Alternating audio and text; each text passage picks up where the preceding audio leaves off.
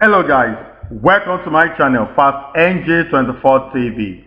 So the Ogun State Police Command on Monday morning arraigned controversial singer Habeeb Okikiola, popularly known as Portable, at the Ifo High Court on six counts bordering on assault.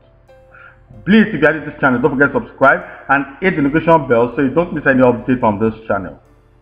Singer Portable resisted arrest by some policemen last Tuesday at his office. The Zauzek Kruna was later arrested last Friday.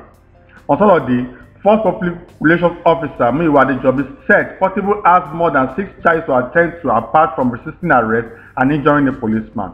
He will be charged to court for beating up a guy in Osa who filed a petition to Commissioner in Ogun State, Adejobi tweeted.